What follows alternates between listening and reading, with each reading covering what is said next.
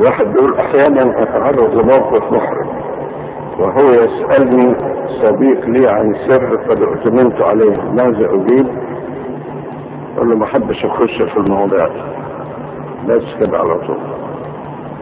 ما أحبش أخش في المواضيع دي. إذا قلت لا أعرف هذا أكون قد كذبت. لا.